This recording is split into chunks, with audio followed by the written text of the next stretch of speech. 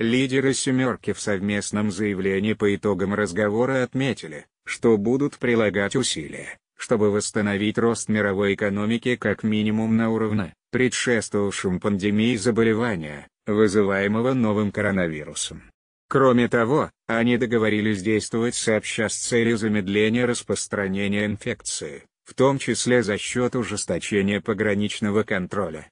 Лидеры стран «семерки» не делали заявлений, касающихся переноса или отмены Олимпийских и Паралимпийских игр с учетом ситуации с распространением коронавируса.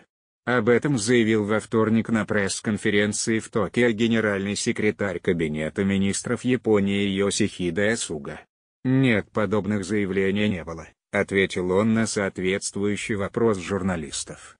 Международный Олимпийский комитет, Архкомитет Токио 2020 и администрация Токио сотрудничают с тем, чтобы Олимпиада прошла по плану, добавил Суга.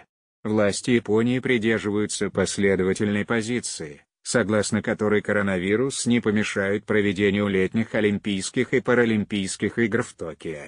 Идея проведения Олимпиады без зрителей была на прошлой неделе также категорически отвергнута японскими властями.